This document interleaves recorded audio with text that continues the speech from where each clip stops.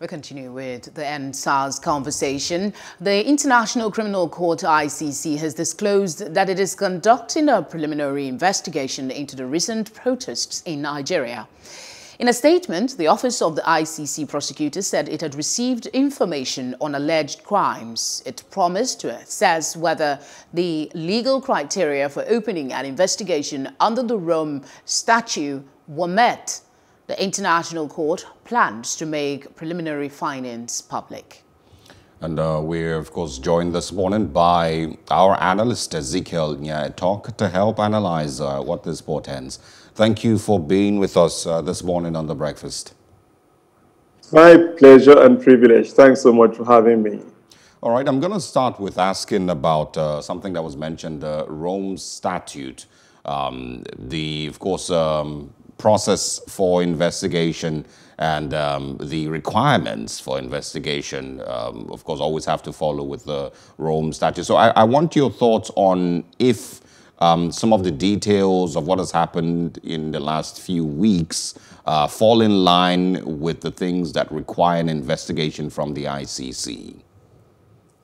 Um, first, you may need to have a little bit of a background into these this whole ICC matter. After the Second World War, um, a group of um, people were brought together to think of how we can evolve what we call a new world order where um, there could be peace around the world generally because they discovered that even far back that the world was getting so interwoven one with another so that when this group of people came up with very, very far-reaching, um, out-of-the-box thinking, and um, it was rejected by the establishment completely. But these came up to become what gave rise to things like the World Bank, you know, the World Health Organization, all the global bodies, and of course the ICC, a fallout from that, International Criminal Court. Now, the reason is that we've come to realize that what happens in one country affects the rest of the world. Like I said, that was the background. So, um, and one of the things that the ICC comes and takes really serious is, you know, cases of genocide, you know, and um, human rights abuses at certain levels. Now, that is like a little bit of a background to what happened. And there are certain things that fall in within what you may call genocide, you know, and, um, and uh, what happened in uh, at Lekki uh, some weeks back falls definitely into that group. Maybe as we advance the conversation, we'll be able to look into one or two more details that I think we really, as a country, uh, need to know that the time is up. You just can't do anything and hope to get away with it. It's not going to happen. All right. Uh, the, the body has said they're just acknowledging that they've received um, uh, an inquiry to make investigation into um, the protests in Nigeria. The worry is, of what relevance is it? They're supposed to come in if the nation is unable that's my understanding. If the, nation is unable to address the situation as it stands, the federal government has set up panels of inquiry at the state and federal level. There are sittings across the country where these um, matters occurred uh, to find out what needs to be done. So of what relevance really is this um, request to the ICC at this time? Um, between us, if I may say so, unfortunately, can't quite be between us because you are in over 30, almost 40 African countries. So this is not exactly between us. But I think that the time has come when we need to know the image that we're projecting before the world and the fact that the world is watching. The world is watching. Do they take us serious? Unfortunately, our leadership has made it such that even Nigerians don't believe you. If Nigerians don't believe you, how will the international uh, community take you serious? And these people are really down on taking very decisive actions on human rights abuses. As a result, though the federal government has promptly um, put up all the panels, you know, But uh, one must be careful, and they, not one, they must be careful to know that they are watching every action, every step of the way. Now, look at this. Number one, the military has said, oh, we have our prosecution or our inquiry protocols. Uh, we will have to um, look into the cases ourselves. And if we find the people wanting, we're going to court martial them. If um, uh, court martial them, and then, of course, eventually turn them over to the long arm of the law. If we don't have anything against them, uh, we're going to, um, of course, let them be. But this is in a situation where the military had already started by saying we were never involved in the very, very, very first instance. And they, it got to be that they were involved. And now they are saying, oh, we're going to do our inquiries ourselves. Now, these people are going to look at, no, they don't just jump into matters. Like they said, the first thing is that we've received the report. That's part one. Part two is that we are looking into the report. That's the part that, look at what they're showing on the screen. How could these guys didn't know that the world has changed? That's captured. If they had thought about it, they would, before they made the very initial response, they would have said, look, this thing must have been captured on camera. So the question is, how do we do damage control? But they just forget that the world has gone global and that technology is the new normal, you know? So they said nothing happened. So number one, there was that um, denial, and that was a red flag. Number two, they said we're going to do it ourselves, and that's another red flag. The question is for the ICC, their main concern is have the people gotten justice? If the answer is yes, in which case the country has taken um, care of the situation. They've done it transparently. Those who are uh, culpable are, are brought to book. Once that is done, the case is closed. But if you think for anything in the world that you're going to play games on this, ah, we, we, we, are, we are in for a rough ride, uh, or they are in for a rough ride. All right. Um, um, some other thing that I would ask is, um, yes, yesterday, um, I listened to an interview with uh, Chile Eboe Osuji, the uh, current president of the uh, International Criminal Court, a Nigerian. Um, and um, the, there's a, a, lot of questions that were asked about the credibility and the strength of the ICC as it stands, the lack of uh, support from the United States also uh, to the ICC. Um, do you think that the ICC currently has enough um, of the pressure that it, should have to put the Nigerian government on its toes, um, considering also the president of the ICC is a Nigerian? Two things.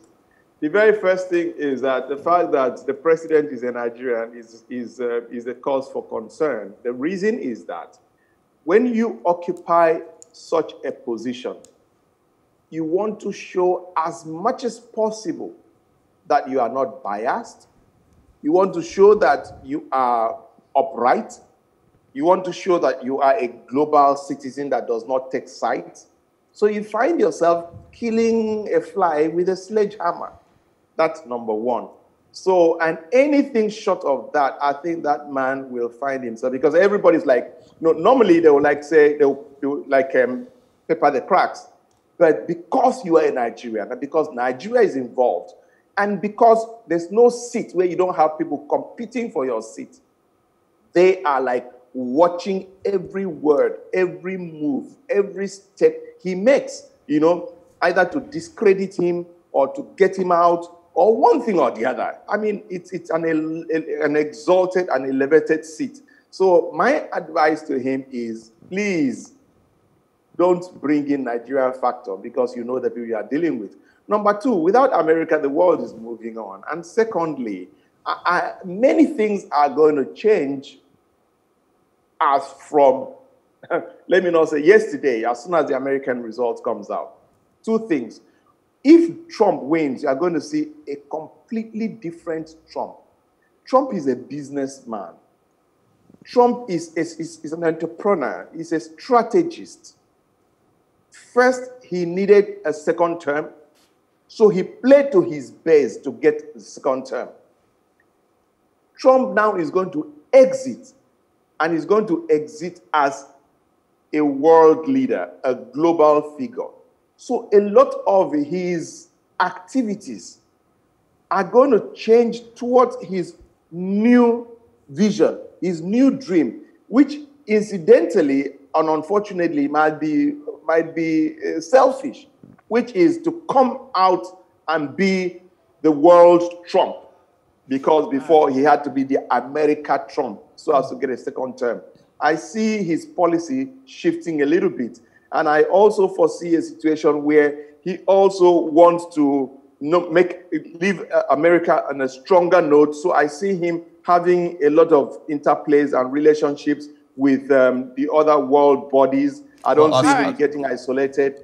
Aside, now, if uh, he wins. Um, On the other hand, if Biden wins, oh Lord, everything changes. Yeah, so, so, so head or tail, Mr. Mr. Etok, ICC is on a good note. Yes. Uh, aside the Donald Trump and Joe Biden per perspective, one of the things that the ICC has also been burdened with over time is yeah. its seemingly lack of powers to um, uh, convict some of the persons that have been put on trial at the ICC, mostly because of lack of, lack of cooperation from the countries that uh, these persons are from.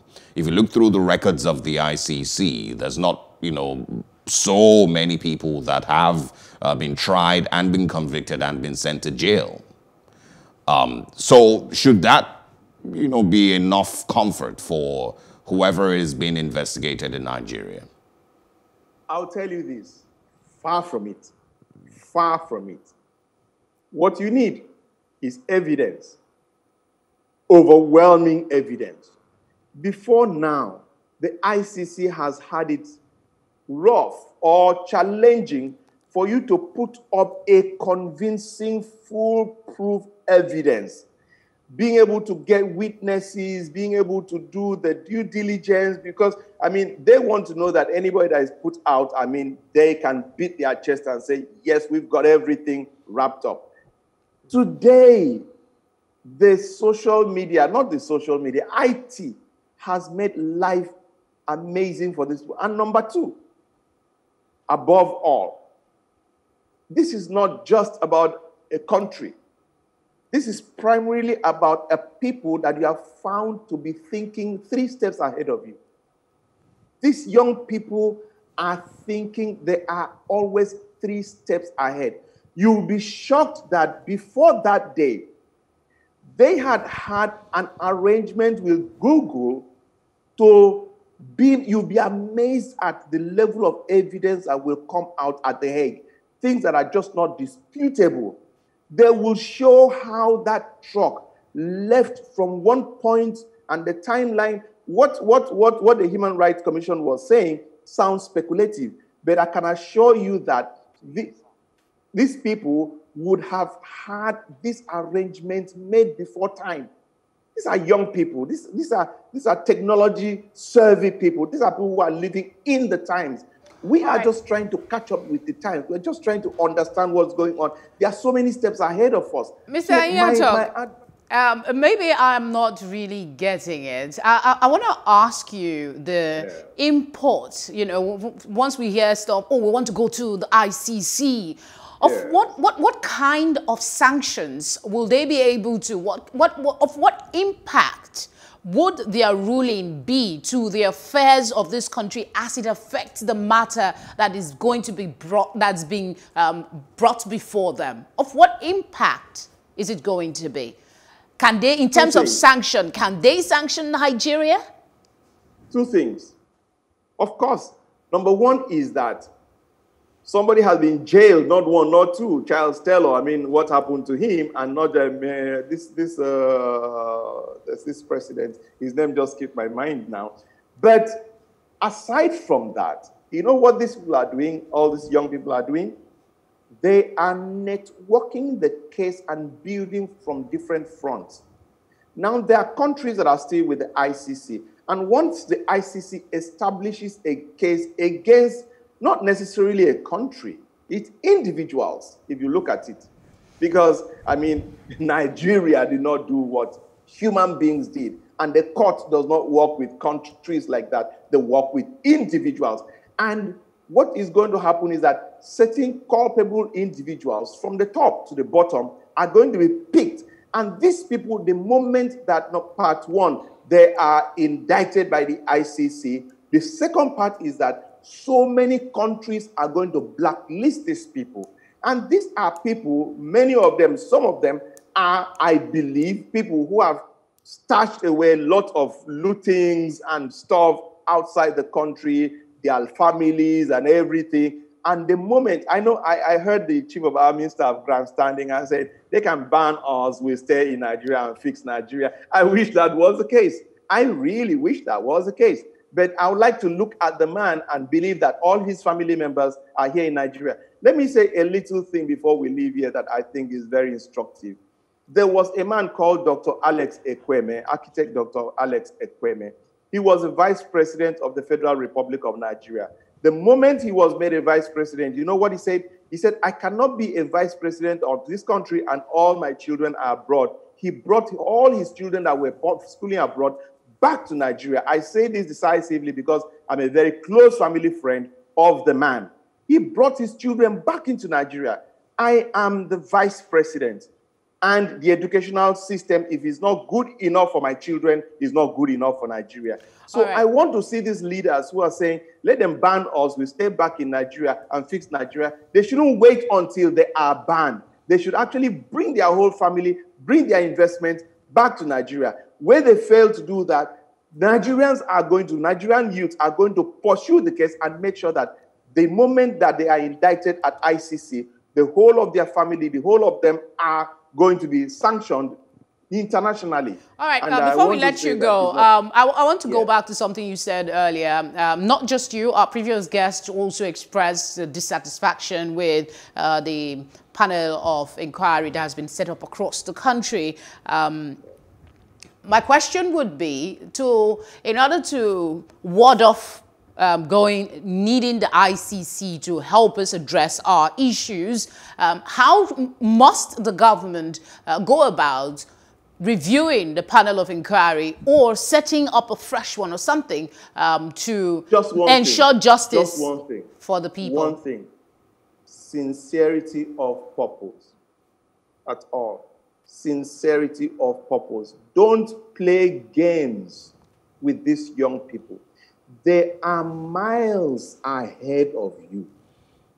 You see, the moment our leaders come to terms with the fact that the young people are not the lazy youth that we think they are, this is not those jobless youth. No, no, no, no, no.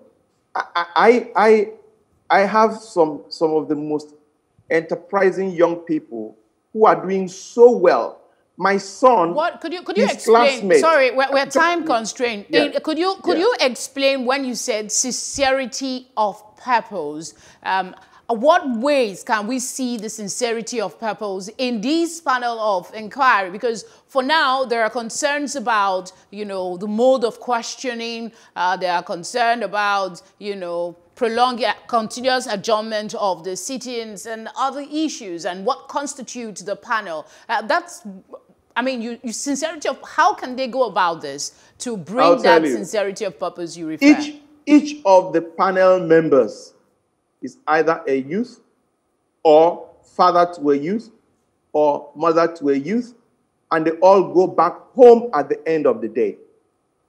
They vent their frustrations to their children, to their words, and this is brought back. That's why they say they have no leadership. This is brought back to the. They, they, these people are not given free hand to operate.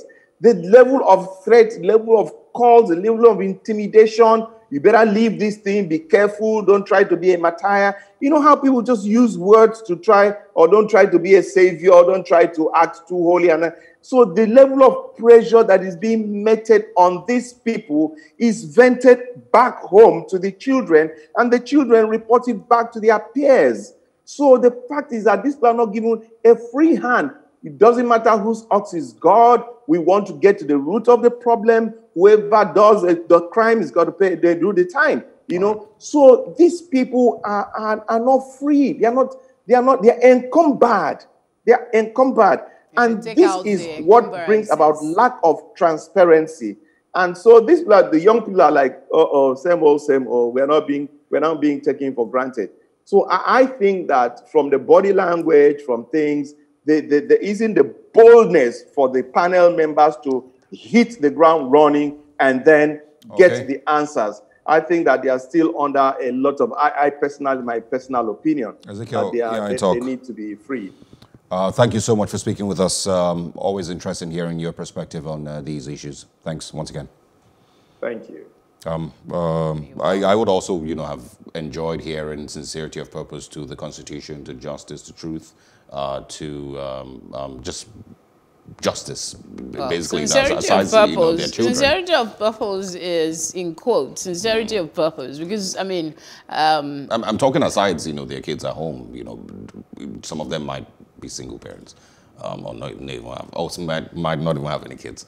No, but I'm another thing, I'm actually referring to his, um, you know, for me, I'm, I'm always thinking, what would be the solution? What would be the way forward? If we're unhappy with the constitution of these panel, whether we like it or not, dialogue must be a part of the process to back to peace.